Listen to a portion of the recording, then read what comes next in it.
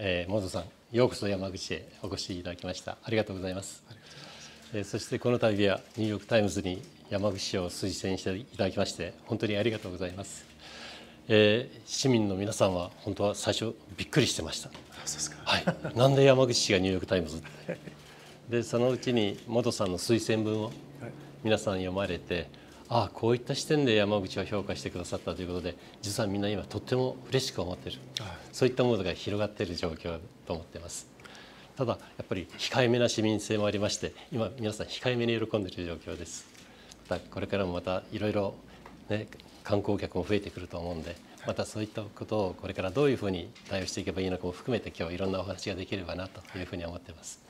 で今日また特にえー、実際に推薦していただいたモドさんが実際に来ていらっしゃるんでまたモドさんの生の言葉で山口市を推薦したその思いなりを述べてもらうとし嬉しいと思いますけど、はい、またよろしくお願いします。はい、よろしくお願いします。いやあの私はいつもあの一人で購読で本を書いてる活動が多くてこんなあの大人数の前で あの発表したりするのはあのなかなかないので、うん、あの緊張しながらちょっと発表させていただきたいと思います。はい、でもこういうふうにあの私の推薦をあの受けていただいて、うん。うん、あの本当に心からとても光栄です。本当にあの感謝しています。で、えーまあ、説明しようとするとなぜ山口市を推薦したかというと、私はもう本当に日本全国何千キロあの地方の町とか歴史の道を歩いたりとかし,、てる中でものすごくたくさん村とか中核市とかいろいろ見てきましたんで。で私の中であのいい町の、まあ、5つぐらいのポイントがあるんですよ。うん、あのまずはその商店街とかそういう個人でやってるお店が、うん、まあ、元気でやってるかどうかとか、はい、で特に若い方々がやっていらっしゃるかどうかとか、うん、あのそういう一点はすごく気に、まあ、私は気にしますんで。であとあの散歩に向いてる街かどうか。それはすごく個人的には大事。散歩が大好きで歩きが大好きであの中山道東海道、あの紀伊半島の、もうほぼ全部の歴史の道も歩いてるので、本当にあの、ね、中核市とか村、町の中で散歩が気持ちよくできると、それすごくあのセンスの高いところで、あと、まあ、もちろん歴史の響きがあるかどうかとか、あと自然あの大自然との向き合い方、うん、あのどんだけ近くにはあの自然があるかどうかとか、うんうん、であと、まあ、推薦する時に考えるのはもうどんすごく知られてるところを推薦してもあまり意味ないので、なかなかなんて言えばいい？あのちょっと隠れてるっていうか、まあ、あの京都とか東京広島が A サイドだったらちょっと B サイド的な、うんすごくあの、ね、B サイドレコードの B サイド実は一番いい曲が B サイドに入ってるレコードが多いんで、うん、まあ、同じ哲学同じ気持ちで、うん、ちょっとあのあまりあの聞かない街のところを推薦するときに、そういうところを町おこしとして推薦できると、まあ、あの力のあのいい使い方なんじゃないかなと思いつつ、でそれで、まあ、去年あのニューヨーク・タイムズの編集者たちに聞かれた時に、うん、あの今年の52箇所の行くべきなところを推薦してくださいって聞かれた時にはあのもうすぐに本当に山口市昔前からちょっとね、あの応援したかったんで。そうですか。で、あの何が一番感動したかというと、でこれあのニューヨーク・タイムズの記事に書いてもあんまり多分理解できないんだけど私的には一番何が良かったかというとそういう住民の優しさ。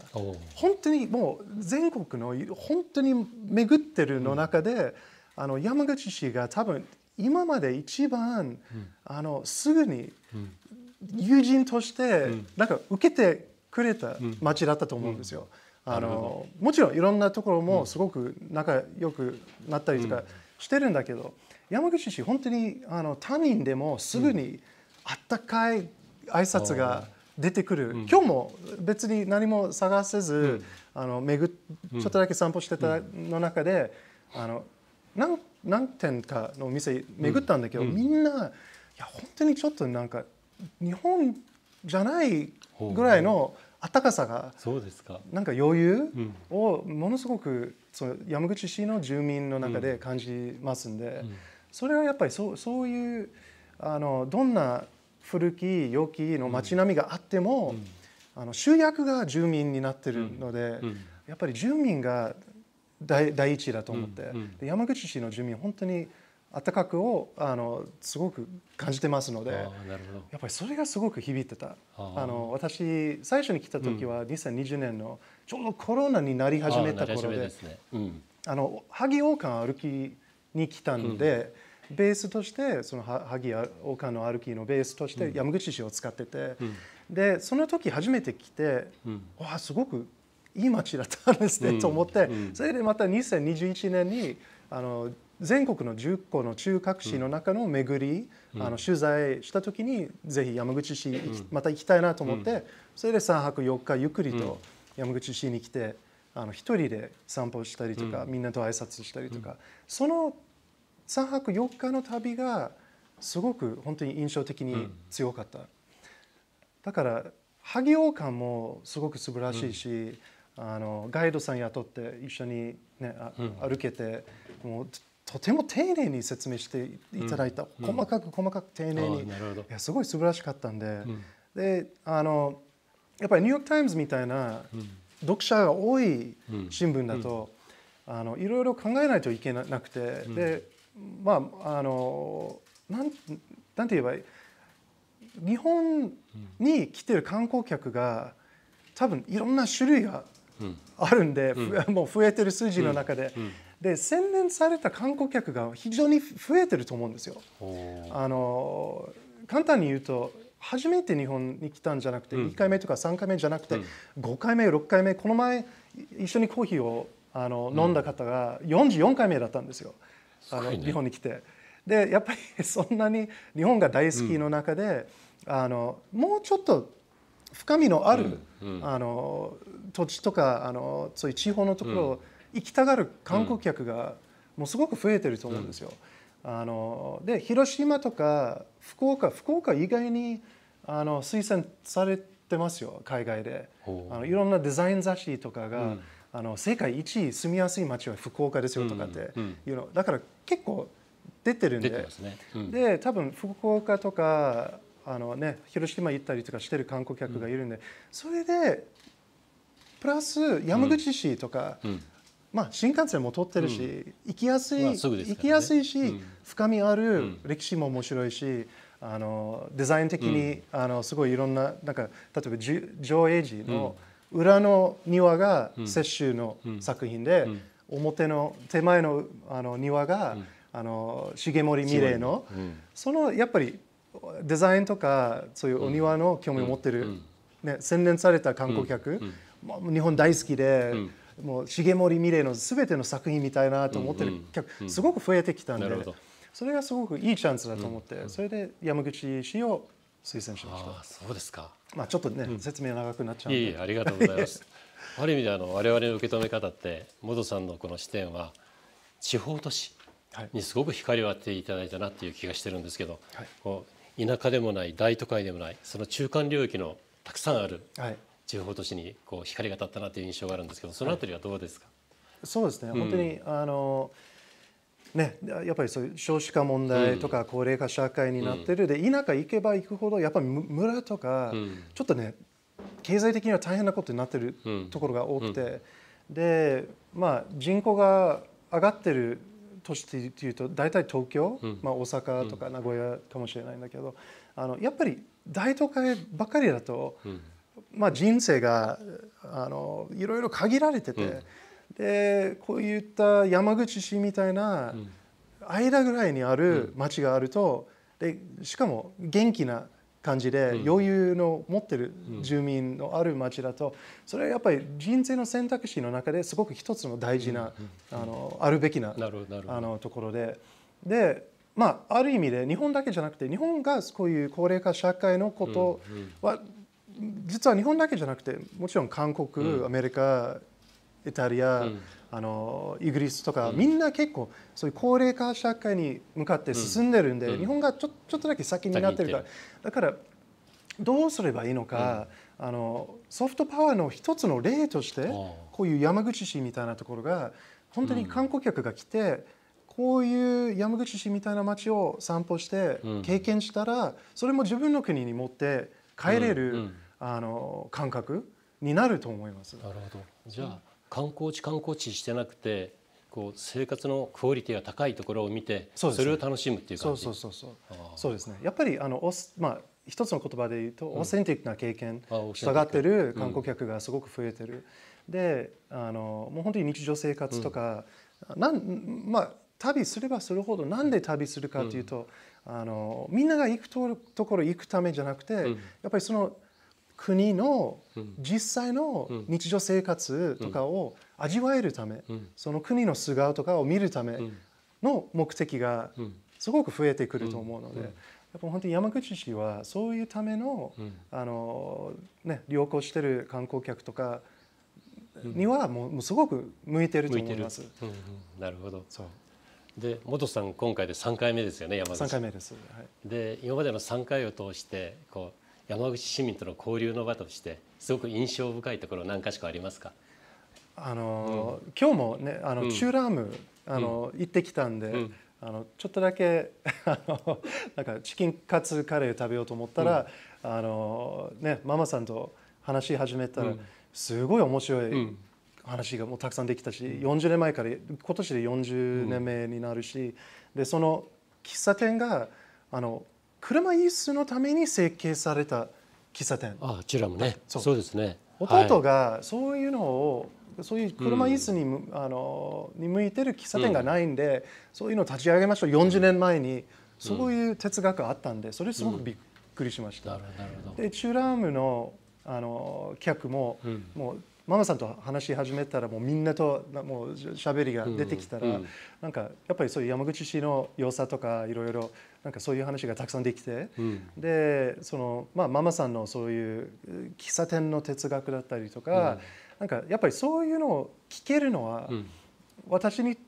対しては本当に宝物だと思と思ってます。じゃあ一種のコミュニティがすぐできるような感じ。そうそれが喫茶店の,、うん。あの力、ん。もう本当に喫茶店どどんだけ田舎行っても、ね、どんだけちょっと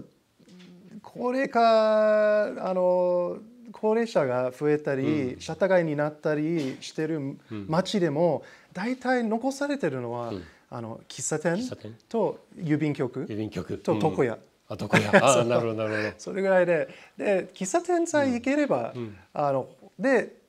ゆっくりと静かに角の角の席で座って2時間とかじっと聞けばその街のいろんな情報がすごいうん耳に入るから、なんかやっぱりコミュニティの一つのあの大事な、あの土台のところだと思います。そう。ということはチェーンショップではないそうですね。やややっぱりねそそれはすごく大事、もうチェーン店が増えれば増えるほどの世界の中で、そういう個人でやっぱりもう立ち上げたい、こう人生をこういう例えばジャズにあの力かけたいとか、あのこういう芸術の本とかに力かけたいなと思ったりとか、まあ、おお餅とだったりとか料理だったりとか、そういうのを人生かけてそういうお店を立ち上げるのとやっぱりあのなんて言えばいい？その人でし,、しかできないことがうん。生まれてるし、あのその人の充実の日々うん。も客として感じられるから、すごく素晴らしいと思います。それとても大事です。あじゃあこうなんていうか個人個人がしっかり生きてる感じっていうそうそうそう。そんな感じですね。でやっぱりそういう個人でお店をやりたいと思ってできるきっかけは、やっぱりその町のそういう社会の土台だったりとか、政治のあの法律だったりとか、それ全部含めて、あのそういう豊かなあの面白い人生、あのの選び方ができるから、まあ、それも例えばアメリカの田舎へ行けば行くほど選択肢がすごく減ってしまってるんでいろんなもう社会問題で。で日本だと本当にこういう山口市みたいな、あのこんないろんな人生が、あのなんて言えば気持ちよく過ごせるような形になってるのも、本当にそのみんなの国の例として持って、本当に持って帰れるソフトパワーの一つだと思います。で、まあ、元さんがおっしゃってるよくわかります。あの山口市の風情とか、はい、あるいは文化的な風土とかトータルなこうムードが、はい、そういうこう市民の生き方とかい。うものを選択させてるんだろうなというふうな気がするんですが多分この度のニューヨーク・タイムズの発表を機に、インバウンドのお客さんが増えると思います。まあ、どのぐらいのボリュームかはちょっと分かんないんですけど、でその先の山口の在り方、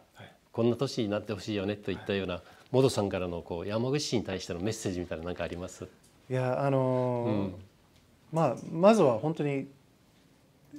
いい街って、うん、あのあの信じてほしいと思います、うん、なんか住んでるとなかなかもう自分に住んでるところの良さとか、ちょっとね見づらくなったりとかするんで、まあ、私も日本在住今年で24年目だし、あの本当に全国いろいろ見回ってるから、まあ、あの山口市ただ3回目だけで、ただまあその全体のあの巡りの中で、本当に山口市は特別で、あのいい